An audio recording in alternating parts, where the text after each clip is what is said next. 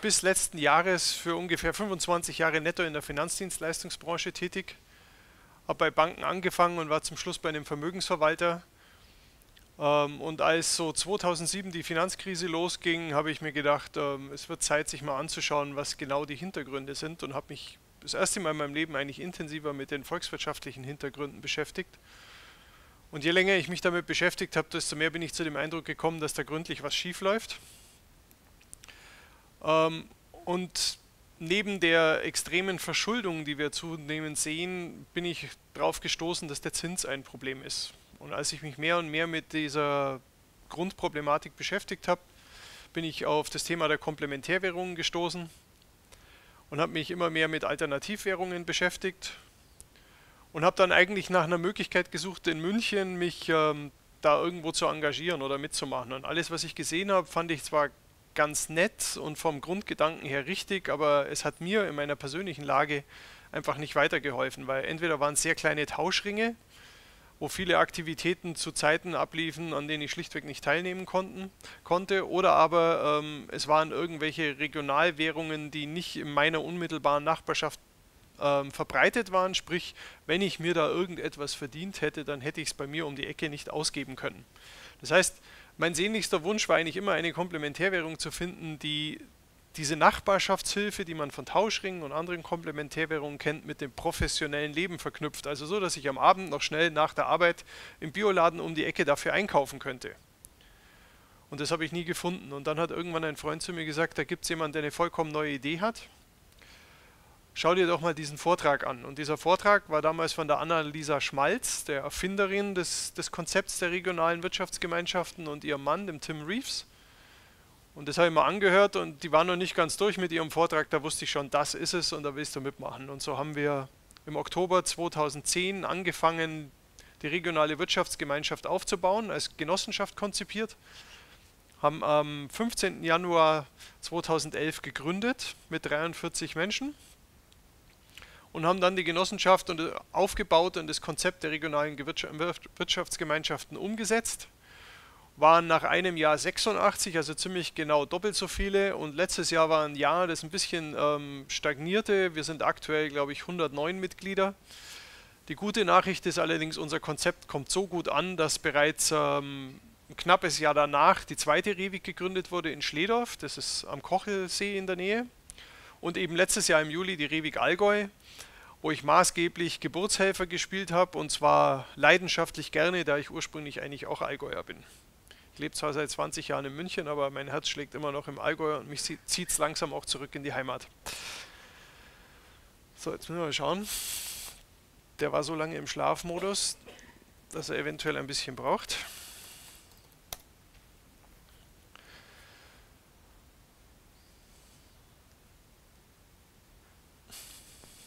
Die Technik.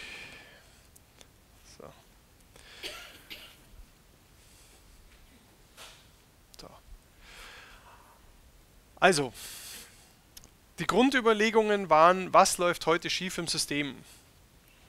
Und eigentlich sind es drei maßgebliche Entwicklungen, die derzeit in unserem Marktsystem, das wir Kapitalismus nennen oder hier in einer Abart ähm, soziale Marktwirtschaft, ähm, wahrnehmen. Die erste Grundproblematik, die vielen Menschen noch gar nicht bewusst ist, ist die Zinsproblematik, auf die werde ich gleich näher eingehen.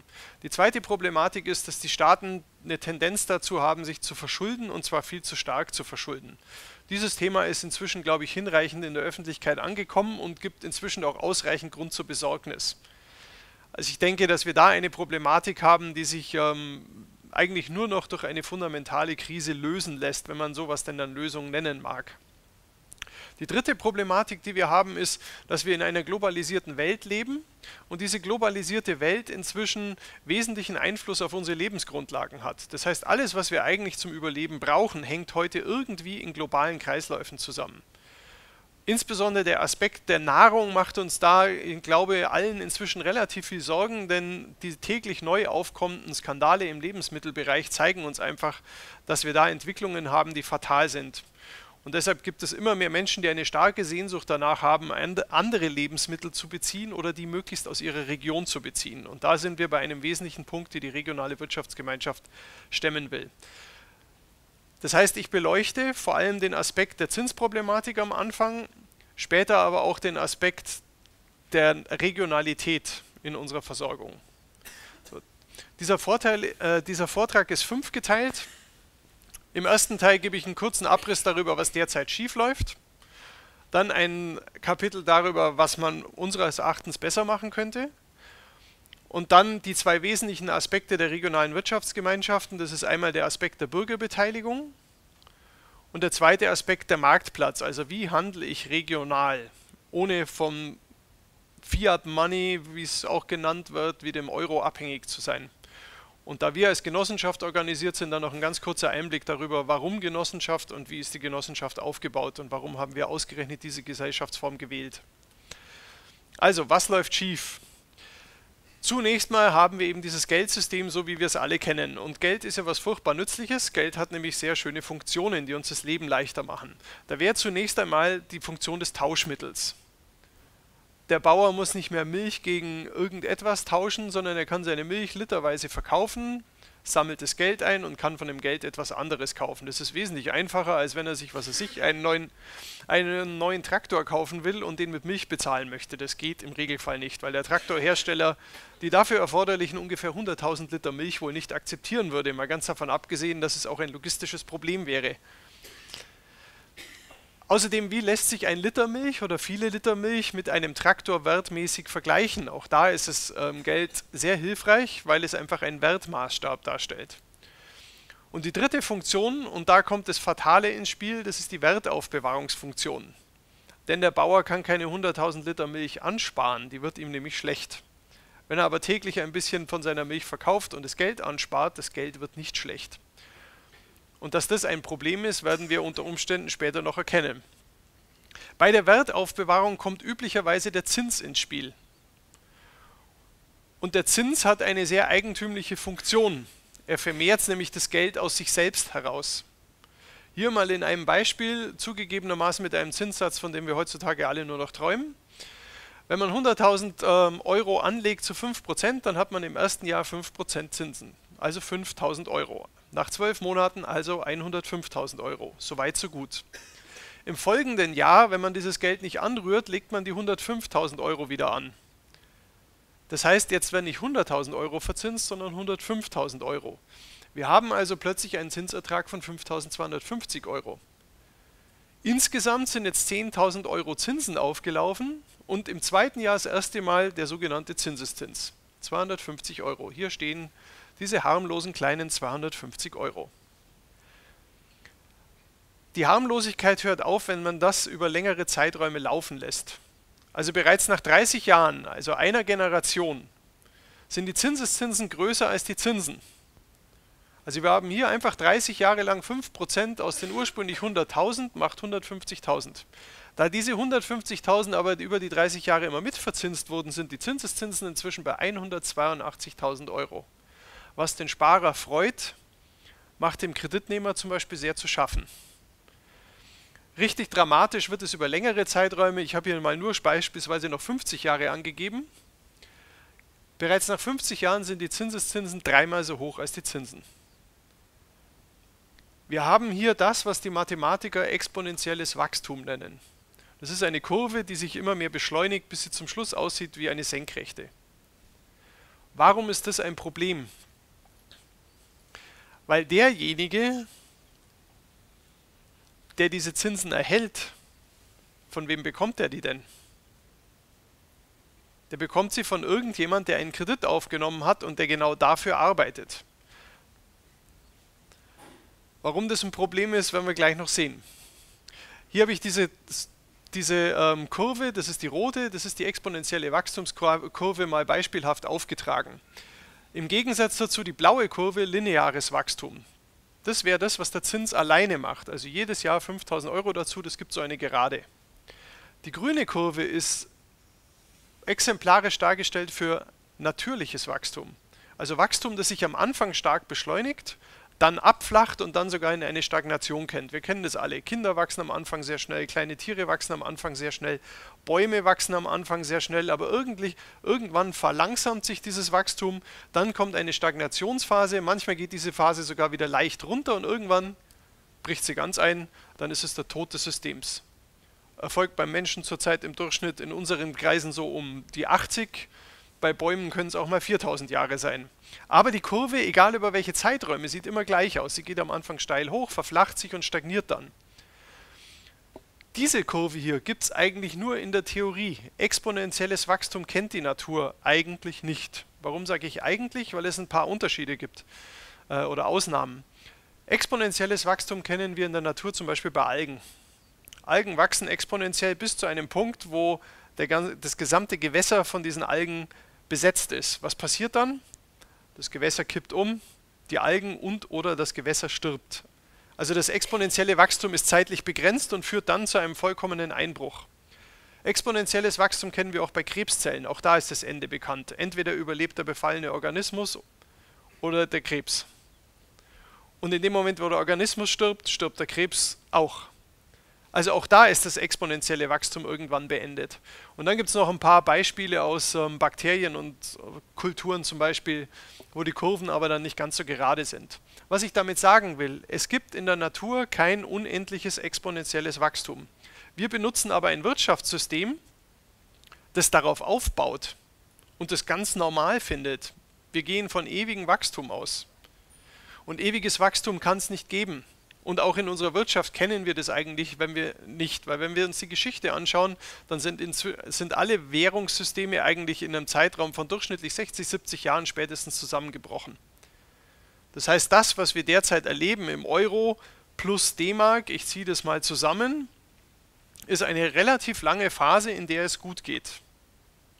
Und die Frage ist halt für mich nicht mehr, ähm, ob das auf Dauer gut geht, sondern nur noch wie lange.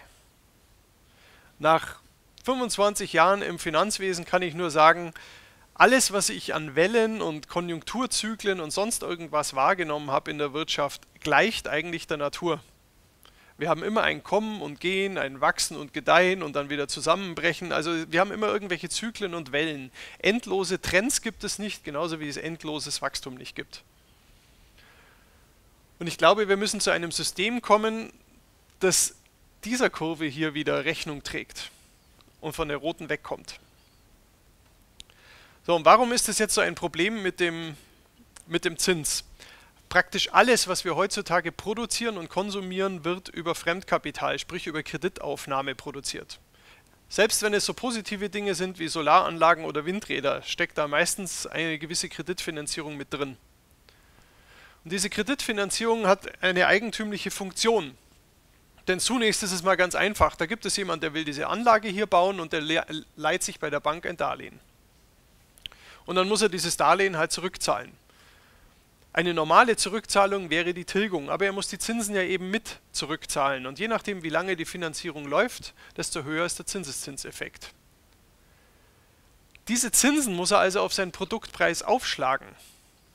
Also der, der diese Anlage hier betreibt, will im Regelfall ja einen Gewinn machen. Das heißt, er verkauft den Strom an seine Kunden mit einer Kalkulation, die ihm einen Gewinn ermöglicht, die aber dummerweise die Zinsen auch noch mitverdienen muss. Dadurch wird das Produkt teurer.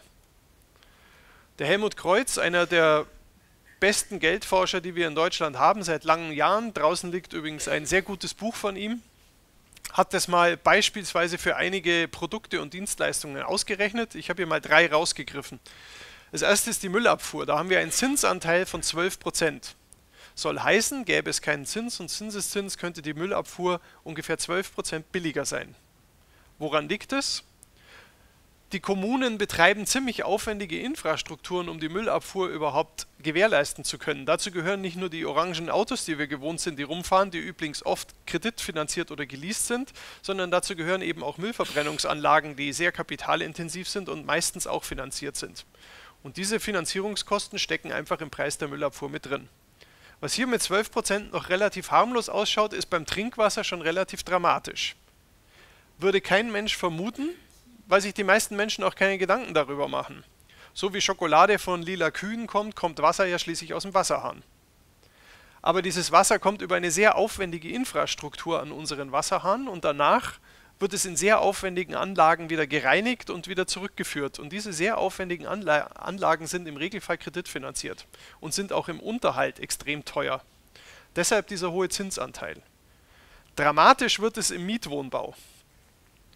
Im Mietwohnbau wird es aus mehreren Gründen dramatisch. Zum ersten, weil der Mietwohnbau steuerlich sehr interessant ist, vollfinanziert zu werden. Sprich, üblicherweise werden Mietshäuser nicht ähm, bar bezahlt, sondern eben möglichst sogar zu 100% finanziert. Zweitens haben wir hier eine sehr, sehr lange Produzentenkette, die alle sehr kapitalintensiv sind. Das geht im Kieswerk los, das irgendwo Steine bricht, mit sehr teuren Maschinen und Anlagen. Dann geht es zu einem Baustoffproduzenten, der auf sehr großen und teuren Anlagen die Baustoffe produziert, egal ob es jetzt Zement ist, Dachziegel oder was immer auch. Und immer werden diese großen Mengen an, an Gestein und deren Produkte daraus mit großen Lastwagen, die sehr teuer und im Regelfall kreditfinanziert sind, bewegt. Und sie werden vom Kieswerk zum Baustoffproduzenten bewegt, vom Baustoffproduzenten zum Großhändler, vom Großhändler zum Baufirma und dann rückt die Baufirma mit all diesen schönen großen und teuren Maschinen, die uns als kleine Kinder so fasziniert haben, Kräne, Bagger, Lastwagen und was es da alles gibt, an und bauen ein Haus. Und dieses Haus ist zu 100% finanziert. Und über diese vielstufige, kapitalintensive Kette fallen natürlich ununterbrochen Zinsen an. Und wer zahlt die zum Schluss? Der Mieter. Und das führt zu dieser Aussage, dass die Mieten ungefähr drei Viertel billiger sein könnten, wenn wir keine Zinseszinsen in unserem System hätten. So, eine Problematik. Was können wir jetzt besser machen? Besser machen heißt für mich heute, dass wir so wirtschaften, dass wir es nachhaltig nennen. Die meisten können dieses Wort inzwischen nicht mehr hören. Ursprünglich gut gemeint kommt es aus der Forstwirtschaft, hat sich übrigens dieses Jahr gerade, ähm, weiß ich gar nicht, zum 200., 300. Jahr ge gejährt. Ist auf jeden Fall gerade ein Jubiläum. Ähm, und hieß eigentlich nur, was du aus dem Wald entnimmst, solltest du auch wieder anpflanzen. Es gab dann ähm, vor etlichen Jahren den sogenannten Brundtland-Bericht, der diese schöne Definition von Nachhaltigkeit ähm, getroffen hat. Ich bevorzuge inzwischen statt nachhaltig den Begriff enkeltauglich. Heißt für mich einfach so, ich arbeite, lebe und wirtschafte so, dass es für meine Enkel noch tauglich ist. Und zwar am besten sieben Generationen nach hinten. Und da beginnt natürlich schon die Schwierigkeit. Können wir heute beurteilen, was in sieben Generationen das Richtige gewesen wäre? Die heutige gültige Definition von Nachhaltigkeit äh, beinhaltet drei Säulen. Die erste ist die, die uns allen vertraut ist und auf die man sich meistens auch konzentriert. Das ist die ökologische. Ökologische Nachhaltigkeit ist inzwischen, glaube ich, vom Verständnis her weit verbreitet. Das zweite ist die soziale Nachhaltigkeit. Da hört es dann schon ein bisschen auf, da machen sich gar nicht mehr so viele Menschen Gedanken darüber. Und die dritte Säule ist, und daran denken die wenigsten, die ökonomische. Denn wenn ich Nachhaltigkeit auf die Wirtschaft anwende, dann muss ich sagen, ich muss nicht nur so wirtschaften, dass es der Natur nicht schadet oder dass es nachfolgenden Generationen nicht schadet oder dass es unseren sozialen Verhältnissen nicht schadet, sondern dieses wirtschaftliche Handeln muss sich auch rentieren, sodass ich es eben auch nachhaltig und dauerhaft betreiben kann, zum Nutzen aller. Deshalb gehören alle drei Säulen rein. Und ich habe schon endlose Diskussionen geführt, ich habe immer die ähm, Position anfangs vertreten, die Ökologie muss vor dem Sozialen kommen und das Soziale vor der Wirtschaft. Inzwischen bin ich davon abgewichen. Ich glaube, das muss Hand in Hand gehen. So. Die Annalisa Schmalz, die das Ganze erfunden hat, hat aber gesagt, eigentlich sollte man diese Nachhaltigkeitskriterien noch ergänzen. Denn sie nimmt da immer das schöne Beispiel eines Supermarktes. Wir haben jetzt einen nachhaltigen Supermarkt.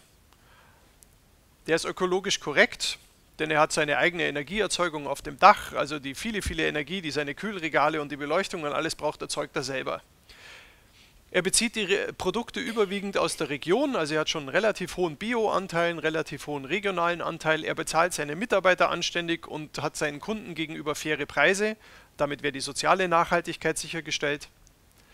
Und er macht damit jedes Jahr einen kleinen Gewinn, sodass es auch für den Eigentümer und Unternehmer einen auskömmlichen Lohn gibt und trotzdem alle zufrieden sind. So gesehen wäre die Nachhaltigkeit über die drei Säulen erledigt. Jetzt ist aber dieser Supermarkt nicht allein auf der Welt, sondern er steht mitten hier, sagen wir mal in Ochsenhausen und bezieht eben auch Produkte, die es nicht hier im Schwäbischen gibt. Er ist abhängig von Lieferketten, von teilweise globalen Lieferketten. Wenn eine Unterbrechung der Lieferketten stattfindet, gehen wir heute davon aus, dass Supermärkte innerhalb von drei Tagen leer sind. Denn vielleicht kriegt dann auch Nachschub aus der Region, also so ein bisschen Gemüse und ein paar Milchprodukte und der Bäcker liefert vielleicht auch noch Brot. Aber viele andere Güter, die wir heute gewohnt sind zu kaufen, egal ob es jetzt ein Wein ist, ob es Kosmetikprodukte sind etc., die hängen von Lieferketten ab und wenn diese Lieferketten unterbrochen sind, dann ist der Supermarkt in drei Tagen leer. Sprich, wir brauchen in der Nachhaltigkeit noch das Kriterium der Widerstandsfähigkeit. Also wie widerstandsfähig ist ein System gegenüber Krisen? Das zweite ist, wenn Krisen auftreten, wie lernfähig ist das System? Also wie schnell können wir erkennen, was ist das Problem, wo liegt das Problem und wie kann ich das Problem abstellen und wie kann ich das Problem in Zukunft vermeiden? Und unsere Systeme sind heute meistens so komplex, dass es sehr schwer ist, die Auslöser von Problemen überhaupt zu identifizieren, geschweige denn zu erkennen und für die Zukunft abzustellen. Das dritte ist, das hängt eng damit zusammen, das System sollte so transparent wie möglich sein. Das heißt, alle Beteiligten sollten die Abhängigkeiten kennen, um auch zu wissen, woher können Störungen kommen. Und was kann der Einzelne beitragen, um die Störungen zu verringern. Und das System sollte möglichst einfach sein. Davon kann ich ein Liedchen singen. Ähm, was wir in den letzten zehn Jahren in der Finanzdienstleistungsbranche an Produkten gesehen haben, die waren alles andere als einfach. Die waren teilweise so kompliziert, dass sie der Berater, der sie an den gut glaubenden Kunden verkauft hat, selber nicht mehr erklären konnte. Das heißt, so ein Formelwust, wie er hier an der Tafel steht, hilft mir gar nichts zur Erklärung von Systemen. Und wenn ich ähm, regional nachhaltig wirtschaften will, dann sollte es für jeden, der daran beteiligt ist, und das ist für mich jeder Bürger jeglichen Alters, nachvollziehbar sein. Darum denken wir, es ist wichtig, Nachhalt den Nachhaltigkeitsbegriff um diese vier Kriterien zu ergänzen. Das alles bedeutet natürlich, Nachhaltigkeit soll uns zukunftsfähiger machen. Und schon dieser Schnellabriss über, über diese sieben Kriterien der Nachhaltigkeit zeigt uns, es geht hier nicht einfach nur um eine technische und systemische Veränderung, sondern wir brauchen hier ein vollkommen neues Werteverständnis. Das derzeitige Wirtschaften, das im Großen und Ganzen eigentlich nur auf Gewinnerzielungsabsicht und auf Gewinnmehrungsabsicht aufgebaut ist, ist dafür garantiert nicht mehr geeignet. So, und wie wollen wir das im, Pro im Konzept der regionalen Wirtschaftsgemeinschaften umsetzen? Der erste Gedanke war, diese komplexe, globale, undurchschaubare Wirtschaft wieder an den Menschen nahe ranzubringen, sodass er die Wechselwirkung zwischen sich und dem, was in der Wirtschaft passiert, erkennen kann. Dazu ist es nötig, dass der Bürger an der Wirtschaft beteiligt ist. Und zwar nicht so, wie heute oft gedacht wird, ja, dann kauft er sich halt ein paar Aktien, mal ganz davon abgesehen, dass das für viele Menschen gar nicht möglich ist. Sind wir der Meinung, dass es sehr sinnvoll ist, wenn der Bürger an den Produzenten seiner unmittelbaren Lebensgrundlagen beteiligt wäre. Und da das organisatorisch ein bisschen schwer darstellbar ist, ist es vielleicht sinnvoll, wenn sich viele Bürger zusammentun. Und deshalb haben wir eine Genossenschaft gegründet, die bei uns in München Rewig München heißt. Also viele verschiedene Bürger schließen sich zusammen, bringen auch Geld und Kapital in diese Genossenschaft ein und diese Genossenschaft beteiligt sich dann an lokalen Unternehmen, die möglichst nachhaltig wirtschaften. Das ist die Grundidee. Wir haben das da so gelöst, dass wir zum einen eine Genossenschaft haben, da gibt es wie der eine oder andere kennt es sicherlich von seiner örtlichen Genossenschaftsbank, Genossenschaftsanteile, die bringen etwas Kapital, aber den Großteil des Kapitals holen wir rein über die Ausgabe von sogenannten Genussrechten.